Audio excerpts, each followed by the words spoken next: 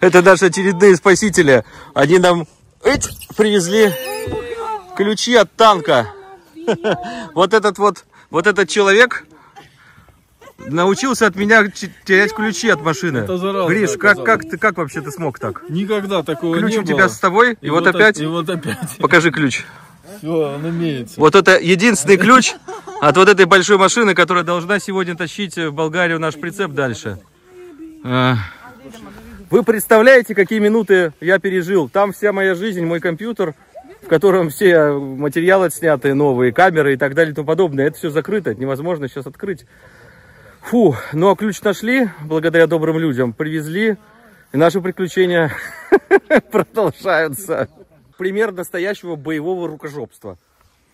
Как оно выглядит? Вот э, система крепления прицепа, да? Только когда она сделана вот таким рукожопым образом, это не застегивается, потому что, видите, что упирается и застегнуться не может. Но мы долго ломали голову, как же сделать хорошо. Не знаю, какая точно не Homo sapiens это сделала. Вот. Но факт остается фактом. И вот этот гениальный человек сейчас покажет, как нужно сделать правильно. Оп. Опа! Воля! Мозг дан человеку, чтобы думать. Руки, чтобы работать. Эгегей. Все-таки мы, наверное, сегодня уедем. Уедем. Дрифт с планером.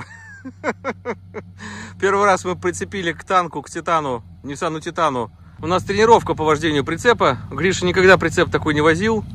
Машину такой водит, а ну, машина почти такой же длины, как прицеп. Сейчас у нас только что была пляска с бубнами по подцепке фаркопа. Конечно, это ужас, как там все собрали. Некоторые, скажем так, рукожопы. Но мы все починили. Э, лапы мои, как видите, как я, как из гаража, как любимый гараж, любимые ключи. Как-то, как всегда, весь в пыли, в говне. В общем, как, все, как мы любим. Ну, вроде как держится. О, узел. Узел не разваливается. Конечно, вот это вот... Я бы за такое оторвал бы все. Чтобы такое даже не размножалось, которое это делало. Ой. Ну, машина зато хорошая. Знаете, как красиво все едет. А фаркоп, конечно... Вот, я сейчас покажу это чудо зодчества, которое э, покрасили уже в собранном виде. Нет, чтобы разобрать, покрасить красиво. Ну, короче, редкое боевое рукожопство. А, вот здесь шов сварочный. То есть вы представляете, да, это едет все. И вот здесь трещина усталостная. Чпок! И планер за 100 тысяч евро улетел. И это все держится на одном болтике. Ну, болтик, конечно, 12 но вообще ужас. Вот это вот 4000 километров ехать, я даже не знаю, ехать или не ехать. Что, что делать? Напишите в комментариях. Ну что ж, глубоко уважаемые любители летных видов спорта, э, мы на болгарской таможне и, соответственно, у нас начинаются приключения. Нельзя снимать? Хорошо, не буду. Буду себя снимать. Проблема в том, что въезд из Сербии в Болгарию, э, естественно, сопровождается таможенным коридором. И не понравился такой хороший, дорогой прицеп. Э, он, естественно, вызывает некие сомнения, что хорошо бы на этом можно или заработать, или мозг потрахать и так далее. Соответственно, первое, что нарушено, у нас забрали паспорта, причем пограничники их отдали, таможенники их забрали, что изначально, в принципе, неправильно. Ну и дальше мы сейчас стоим, уже полчаса нас маринуют, видимо, хотят, чтобы мы что-то смазали. Мы этого делать не будем. Но я хочу выразить презрение в данном случае вот этому переходу. Вот так вот нас встречает страна Болгария. Ну что, преступник, контрабандист. Приключения продолжаются. Продолжаются. Друзья, вот наш планер стоит. Э, вот в этом странном месте, таком полузаброшенном. Похоже, мы будем ночевать. Потому что нам сказали, что большой начальник, который сможет помочь нам отсюда уехать, ну, объяснить, зачем мы здесь остались на ночь. Вот он приедет к утру. Вот. И дальше будет разбираться.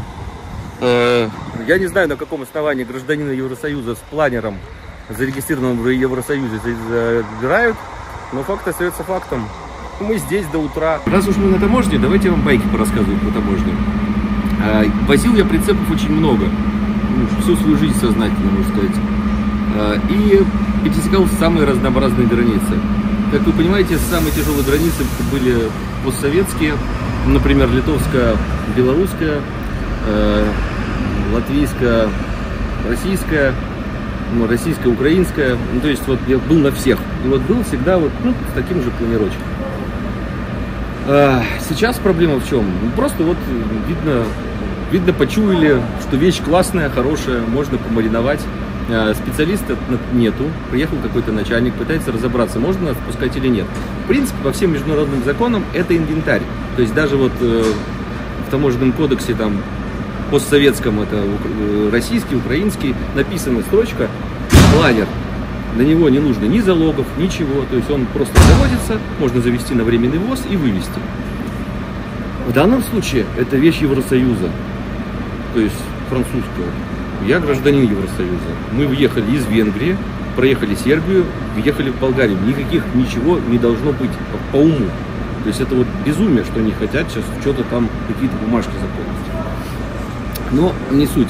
Давайте я вам просто расскажу, пока мы ждем утра, то есть нас вот оставили сейчас э, в 12 часов ночи, первый час, и мы должны до 8, судя по всему, будем тут сидеть, куковать. То есть вот я на этом стуле, да, буду открывать шлагбаум на границе. Я вам расскажу самую смешную историю, как я проходил российско-украинскую границу. Мне нужно было сделать временный вывоз планера. Ну, я ввез, можно в России было держать планер полгода, надо было вывести. Запрещаю снимать, но на мою просьбу выдать мне бумагу о том, что документы мне в час ночи забрали, отказываются. Ну, точнее, говорит, да, мы выдадим, и при этом сразу же исчезают. То есть здесь уже огромный наряд полиции исчез, в полном составе растворился. Сзади находятся полицейские, которые отказываются принимать заявление о том, что с нами так обращаются и так далее и подобное. На требование выдать хотя бы какие-то бумажки на том, что забрали бумажки на таком-то основании, ну, все отмораживаются. Э, Начальник таможни помахал бумажками и сбежал.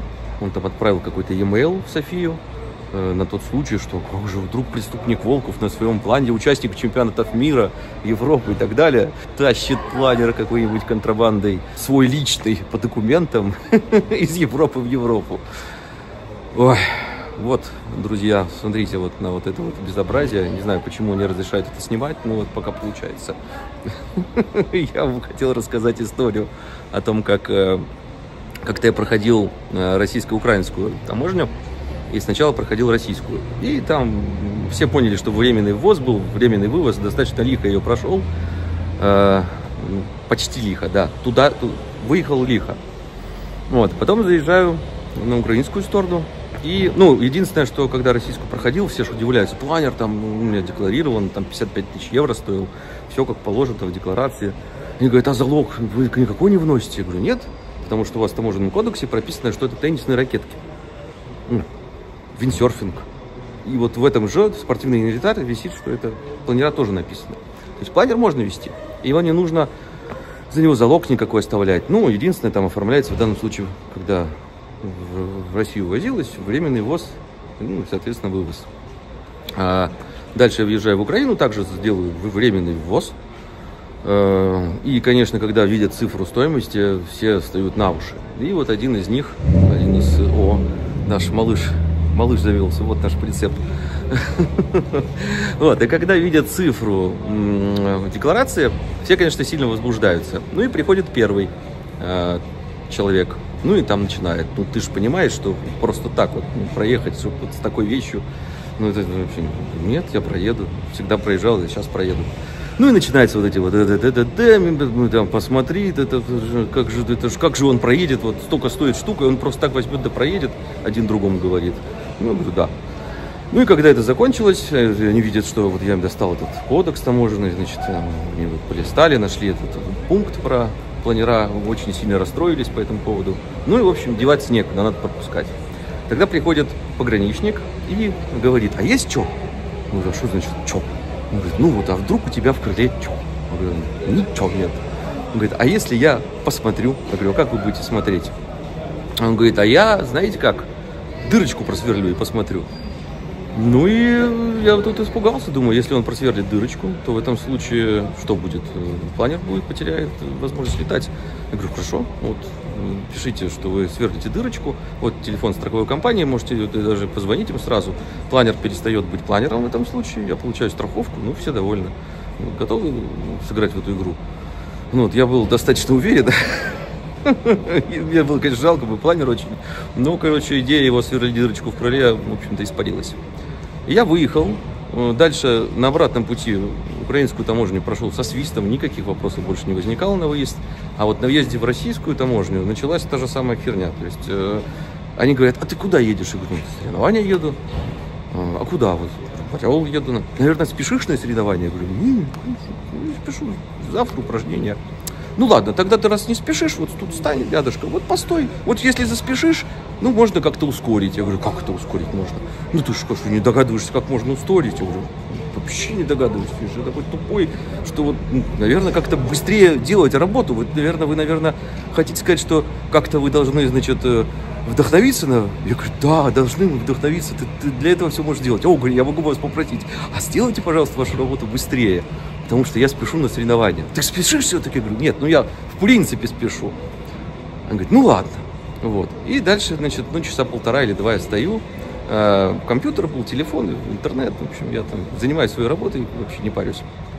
И через некоторое время э, вых- ну, никто не выходит, тогда я уже подхожу, говорю, слушайте, на каком основании вы меня мурыжите уже два часа? Ну, так ты ж вроде как никуда не спешишь. Я говорю, ну, я, в принципе, не спешу, но я тоже не хочу здесь стоять, я пойду в кафе лучше, еще куда-нибудь могу уехать. Не-не-не, уехать не можно, ну, тогда заканчивайте ваши бумажки делать. Ну, сейчас еще чуть-чуть. это. А ты не, не решил, что еще надо как-то побыстрее, как-то вот что-то сделать для этого? Я говорю, что еще могу сделать, как запомнил все анкеты и так далее и тому подобное. Ну, короче, вот мне намекали, намекали. Ну и в конце концов, когда все-таки мне выдали бумаги, я ничего не заплатил ни копейки. А, Мне, выдавая документы, сказали, ну что, езжай, коль совести нет.